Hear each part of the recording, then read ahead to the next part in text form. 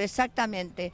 Y preparábamos guiones y escribíamos y cosas. Y después se fue haciendo difícil, porque claro, yo ya trascendía un poco más y me resultaba difícil ocultarme con él, porque yo no, durante 20 años Ah, vos no fuiste hablé. amante. Claro. Ah, no, yo fui, yo salí Sí. con él y cuando quise terminar, porque él, está, él decía que se estaba separando de la mujer, nunca A se mí iba. me decía lo mismo, mentira. Y un día dijo, me voy de la casa. Y se fue. Y se Sí, vino a vivir claro, conmigo dos años. claro. Sí, él también dijo, me voy de la casa, pero y fue. venía extrañamente. Bueno, si ¿Viste vamos a hablar mal, hablamos mal de esto. Porque la cosa oscura, volviendo a la cosa oscura que me duele. Claro, que eso te es duele triste. tanto a Es vos. triste que hayan dicho que por poco era tratante de blanca. Sí, terrible, por favor, terrible. las chicas, todo eso, la- las triste, menores. Es muy, es muy triste. Y él, ya te digo, él se vino, retomando lo anterior, se vino muy abajo con la muerte del negro. Primero de la sobrina.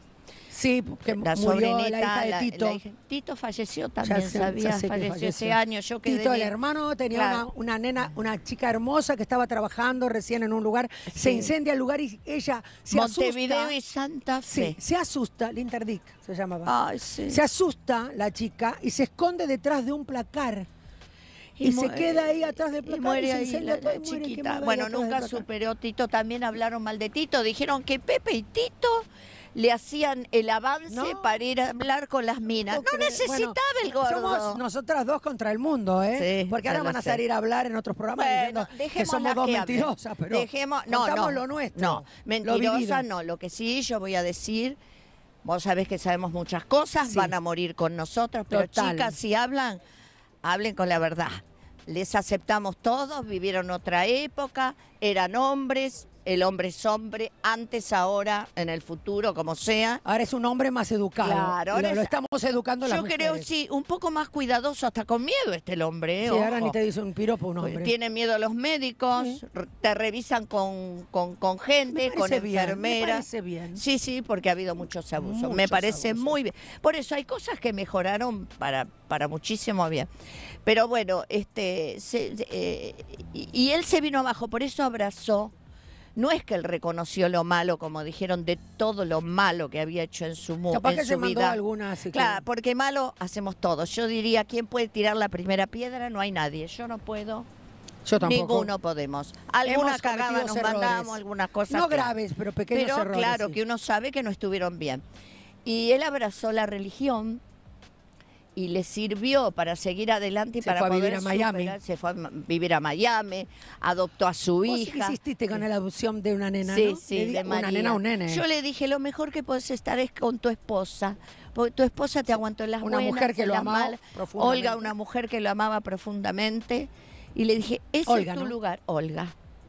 Olga, una gran mujer. Sí. Que esa sí estuvo en las malas, ¿eh? Siempre, Eh, siempre. Siempre, Se bancó siempre. todas. Y bueno, tiene a María. Yo después lo fui a visitar con un- una pareja que tuve de casi 10 años, Sí. con otro gordo hermoso. Gorditos.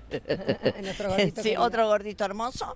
Y este y estaba ahí con su familia, él ya no estaba bien de salud. Pero cada vez que venía acá, ¿te acordás que venía, que ya no Sí, estaba bien? Y, y me veía a mí también y, con mucho amor. Me acuerdo que pasó Federico corriendo y me miró y me dijo, el pibe tiene mi cara. Ah, ¿viste? Esa, esa chiste que hacía él, que era hijo de Santiago. De Santiago. Federico era. Federico, es hijo de un montón de gente que apareció, por favor. no, bueno. Ah, Bueno, bueno, eso es otro tema. Dejémoslo ahí. Pero bueno, y cada Y vez se- que se- venía se me volcó a la religión. Se volcó a la religión. Y cada vez que venía, que ya casi no podía hablar muy bien, Sí. eh, me llamaba Pepe y me dice, te quieren saludar. Y él me decía, hola, habla el amor de tu vida. Y ya no estaba bien, pobre angelito. No lo volví a ver porque me hacía mal verlo así, Sí. ¿no? Pero para mí fue un buen hombre, un gran Ay, hombre. lo amaste, Sí, lo amé profundamente. lo amaste sí. de verdad. Yo Sí. le decía a Juan, vuelvo a decir, perdón que sea repetitiva, ¿no? Pero le dije a Juan Alzúa, esta mujer lo amó más que yo, mirá que yo lo amé, ¿eh?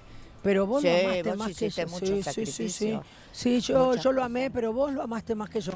O no sé. No, eras más jovencita, Carmen. Puede ser, Claro. puede ser, puede ser que haya Eras sido casi eso. adolescente, Puede 19 ser. años, 20, escúchame. Ojalá puedan aclarar estas Ojalá, situaciones. Yo ojalá. respeto mucho a los periodistas. Obviamente. Que están investigando. Sí, sí. Ojo que tiraron el nombre de mi papá, que tienen que decir de mi papá. Que lo digan porque estoy yo viva por ahora. Claro. Y puedo, puedo salir a hablar y a, y a poner Sí. la cara. Mira si estuviera Anita. Mi mamá. No, no deja ni un de mano periodista, ¿eh? porque ya tuvo varios altercados. Uy, ella. mi mamá era brava, sí. Sí, era divina, brava. pero brava. Mujer que amó mucho a ese hombre. Exactamente. Mujer que perdonó infidelidades. Exacto. Cosa que yo no soy. Exacto, yo no soy así. claro. Vos parece ser que sí. Parece Un que poco sí. permisiva. Pero se ve que no me olvidé al final. Nunca te olvidás. Nunca me Memoriosa como Mirta. bueno, Bueno. este, vamos a terminar hablando. Las cosas que hablamos fueron lindas. Sí, fueron porque es un lindas. recuerdo de nuestra vida. Sí. De nuestro principio de amores. Exacto, porque vos eras tan jovencita y yo Claro, también. claro. Y vamos a hablar un poco del teatro. Sí. ¿Seguís hasta cuándo en el Teatro Corrientes? Que está de, ¿De qué día a qué día? Estamos Horas. de martes a domingo. Sí. Estamos haciendo doble funciones, 21 y 23.30 en el Teatro Corrientes. Con, tenemos a Rodrigo Vagoneta, Rodrigo Esmelia, eh, Lorena Ligi, obvio, nuestro Paquito genio. Guayanquén. Paquito Guayanquén, que es un divino. No, es un genio total. Es un